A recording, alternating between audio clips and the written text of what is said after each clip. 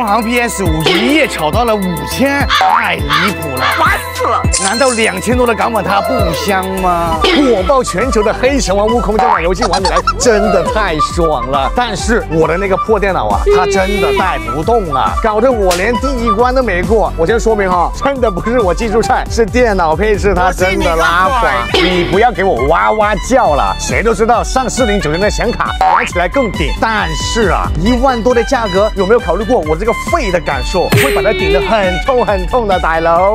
所以今天在万。放给油门地站点下车走三五分钟就到了信和中心。我们花小钱办大事，搞一台港版的 DS 五，不怎么加价。外面那些什么海鲜市场啊，什么深圳的华强北那些，加一千块钱太离谱了。这不是摄影师的最爱吗？哦哟，不关我事啊！摄影师的最爱，不关我的事啊！别拍我，不不关我的事。诶，那个 PS 五，依家系有咩货啊？五三八，五三八。好，我想问下 PS 五，哎，没到货，没到货啊？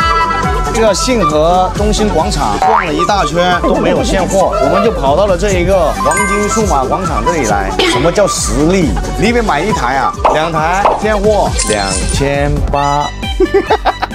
没什么了啦，今天就两台。哎呀，难搞啊，这种生活，兄弟们，你们能想象得到，手握着手柄，躺在客厅的沙发里，对着大电视玩着《黑神话：悟空》，这种是什么样的体验？Oh my god！七月一号起，内地赴港购物免税额度提升至一万五人民币。别说你手提两台了，就说买四台，一样可以过关。送你一台啊？好啊，下次见啦。这个是我们的粉丝朋友的，在我们的书啊号里面抽的。旺角油麻地上海街三百八十号，坐拥。龙巴士回深圳了，松北。